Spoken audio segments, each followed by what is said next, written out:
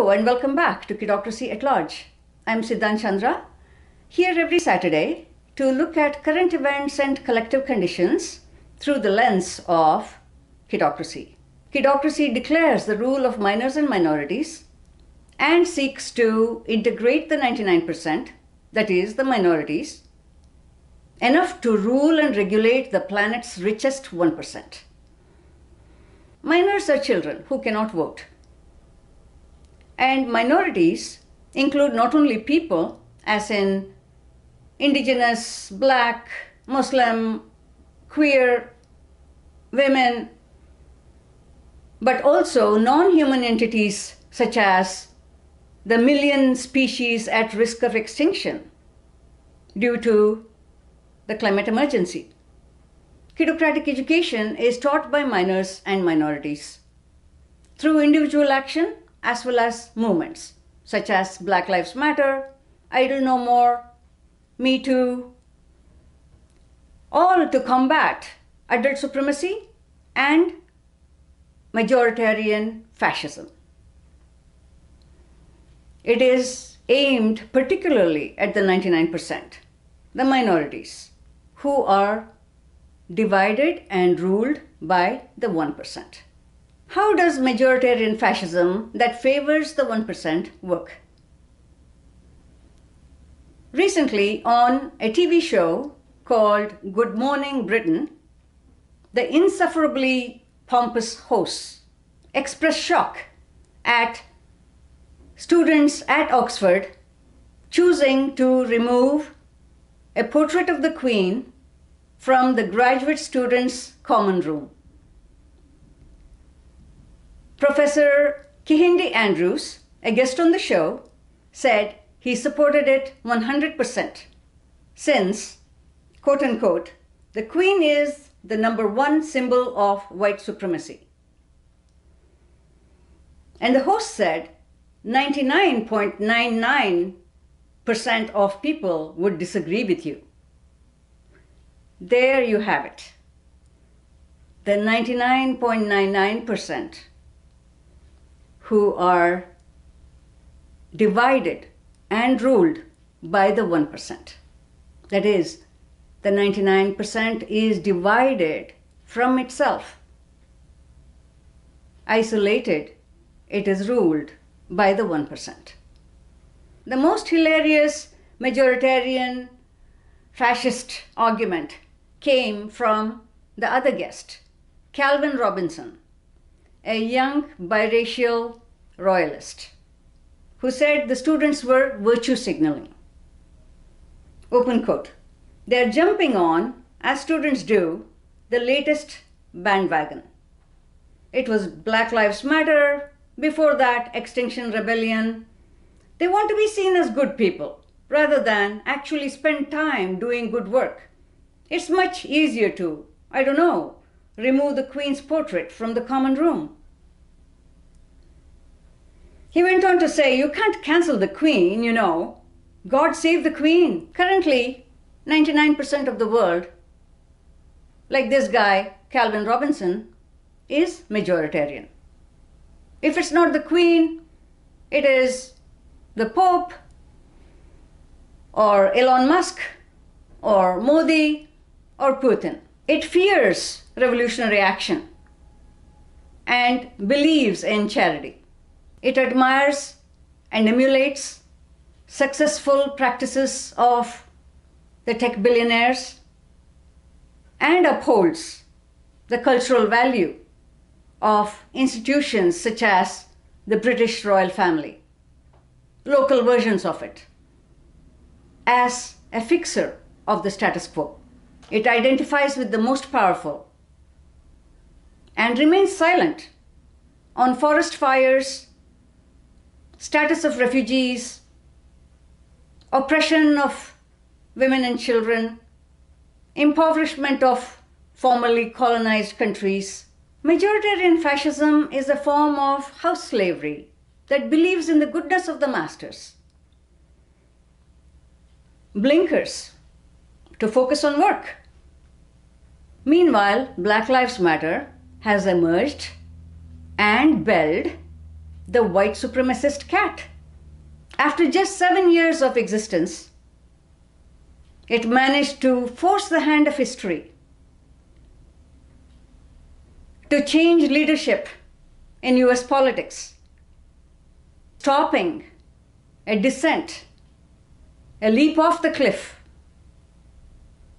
both socially and environmentally, a blast of optimism that can only strengthen movements such as Rhodes Must Fall,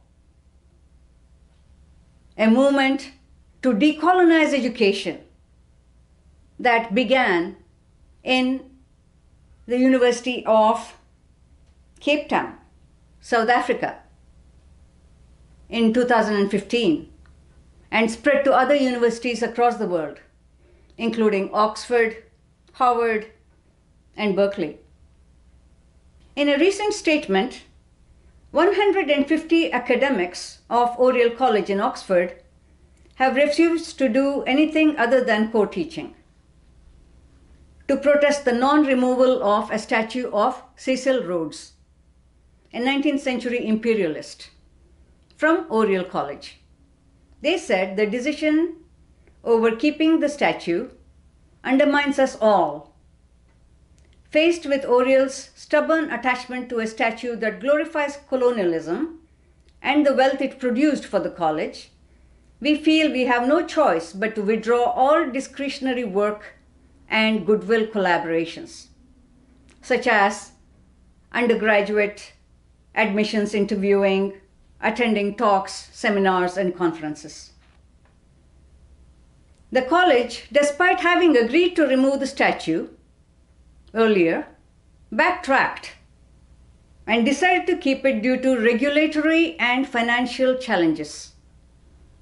Rhodes left 100,000 pounds to Oriel College in his will to promote his vision, calling for, open quote, the establishment, promotion, and development of a secret society, the true aim and object whereof shall be for the extension of British rule throughout the world, the perfecting of a system of immigration from the United Kingdom and of colonization by British subjects of all lands where the means of livelihood are attainable by energy, labor, and enterprise, and especially the occupation by British settlers of the entire continent of Africa. The Holy Land, the valley of the Euphrates,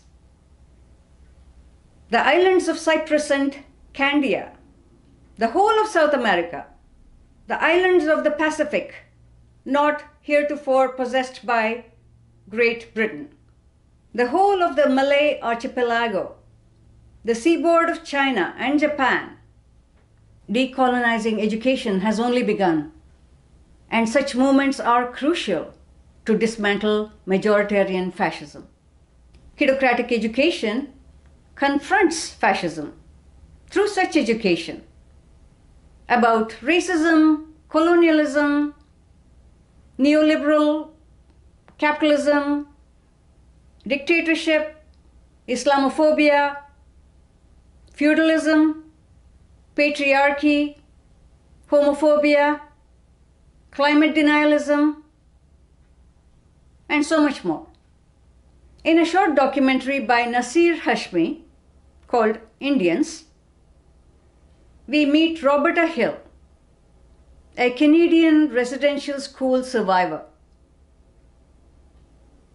who shows us the school and the church where she was sexually abused by a Catholic priest. After displacing the indigenous people from their lands, the British colonial government, in cahoots with the church, separated native kids from their parents and put them through a residential school system that banned native languages and culture, forced labor on the kids, and abused them physically, emotionally, and sexually.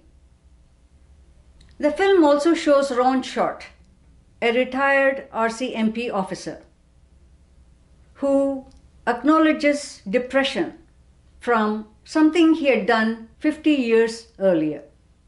Following orders, he had accompanied a residential school agent to pick up two indigenous kids from their parents. Since the school was run by the church, he did not question it then. But 50 years later, suffering from depression, he crossed the fence and connected with Native people and came out about his part in a genocide that killed 6,000 or more Native children of the 150,000 that were put through this school system. Naseer Hashmi, the filmmaker, juxtaposes this retelling of the Canadian Native genocide with that of the 2002 Gujarat riots that killed over 2,000 people in India, with an excerpt from Rakesh Sharma's film Final Solution, a documentary. The boy who had witnessed his family destroyed by marauding Hindu fascists states that he would like to become a soldier and burn the Hindus like they did his family. Hashmi also includes a very telling shot from the same film in which another little boy, a Hindu boy, at an anti Muslim hate rally, listening to cries of Long live Mother India! Mother India, the Queen, the Fuhrer, they're all symbols of institutions that perpetuate violence against minorities.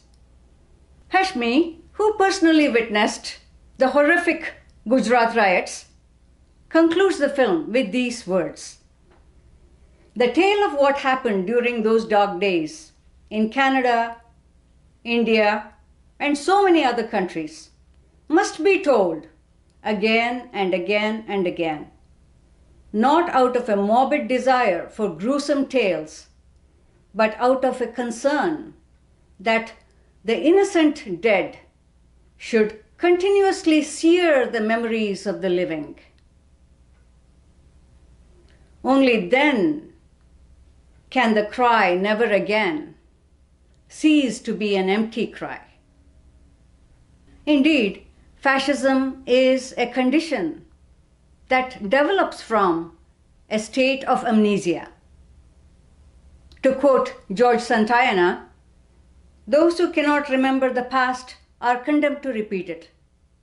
The title of the excerpted film, Sharma's The Final Solution, refers to the Nazi plan to exterminate all Jews during the Second World War, a well documented Holocaust that killed 6 million Jews, and many others. Anti fascist education involves remembering and mourning all the Holocausts of the Jewish people by the German state, of Palestinians by the Israeli state supported by the global north, of Hiroshima and Nagasaki by the United States, of the indigenous people of the Americas by European settlers, of Muslims and Hindus during the partition of India and Pakistan, brokered by the British, of the Rohingya, the Uyghurs, and so many more. And then it involves taking effective proactive action to dismantle fascism.